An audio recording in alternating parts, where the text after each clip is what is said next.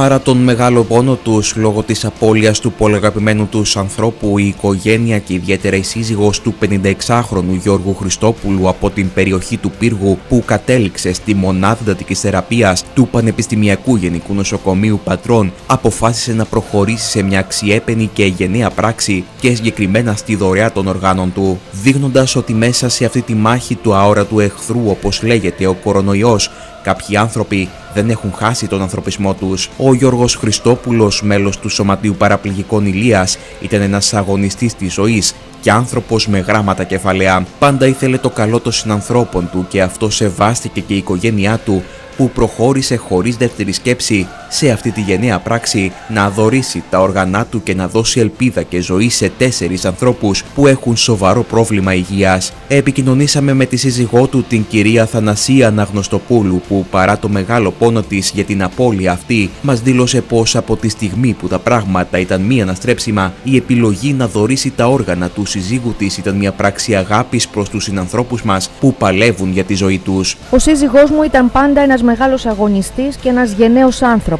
που ήθελε το καλό όλων και επειδή ξέρουμε από δύσκολες καταστάσεις μέσα από τον αγώνα της ζωής η απόφασή μας να δωρήσουμε τα όργανα του δεν ήταν δύσκολη για μας. Με αυτόν τον τρόπο θα βοηθήσουμε ανθρώπους που χρειάζονται αυτά τα όργανα για να αποκτήσουν το δικαίωμα στην ελπίδα και να γίνουν καλά. Το βράδυ της Παρασκευής, παράλληλα με το μέτωπο του κορονοϊού και της εφημερίας στο Πανεπιστημιακό Γενικό Νοσοκομείο Πατρών, εξελισσόταν μια άλλη μάχη ζωή στα χειρουργεία του νοσοκομείου. Η ιατρονοσηλευτική ομάδα προχώρησε στη λήψη οργάνων σε απόλυτο συντονισμό με μεταμοσχευτικές ομάδες σε Αθήνα και Θεσσαλονίκη. Όλα ξεκίνησαν όταν επιβεβαιώθηκε ο εγκεφαλικός θάνατος του 56χρονου Γιώργου από τον πύργο, ο οποίος κατέληξε από εγκυακό εγκεφαλικό ισχυμικό επεισόδιο. Αμέσως η οικογένειά του εξέφρασε την επιθυμία της μεταμόσχευσης των οργάνων του και έτσι άρχισε ένας μεγάλος αγώνας να γίνουν όλα μέσα στον προβλεπόμενο για τέτοιες περιπτώσεις χρόνο. Εγχείρημα ιδιαίτερα δύσκολο στην εποχή που διανύουμε, διότι προβλέπονται διαδικασίες ελέγχου για κορονοϊός σε δότε και υποψήφιους ληπτέ.